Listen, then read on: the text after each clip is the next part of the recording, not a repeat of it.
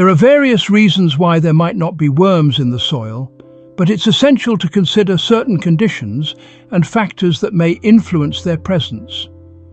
Worms play a crucial role in soil health, and their absence can impact the overall ecosystem. Some potential reasons for their absence might include 1. Soil conditions.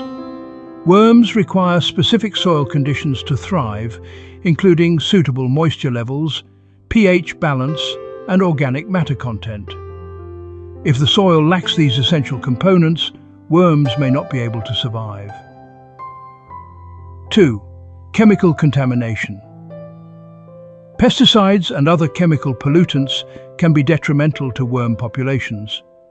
These substances can have toxic effects on the worms and disrupt the balance of the soil ecosystem, making it unsuitable for their survival. 3. Temperature extremes. Worms prefer moderate temperatures and may not survive in environments that are too hot or too cold.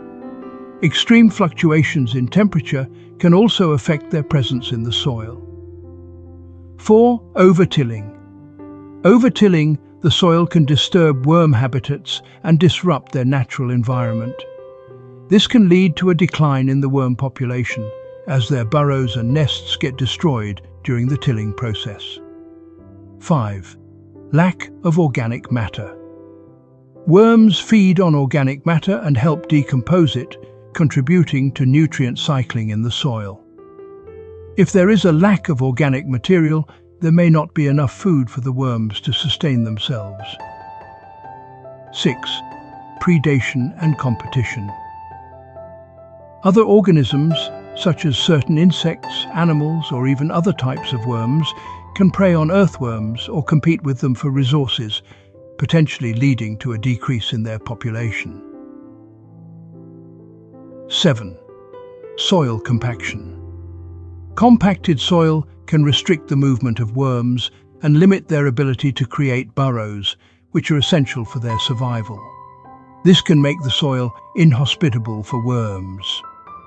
To encourage the presence of worms in the soil, it's important to create an environment that is conducive to their survival. This can be achieved through practices such as adding organic matter, minimizing the use of chemical pesticides, avoiding over-tilling and promoting soil aeration. I hope you like this information. Please subscribe to my YouTube channel and share this video with your friends and family.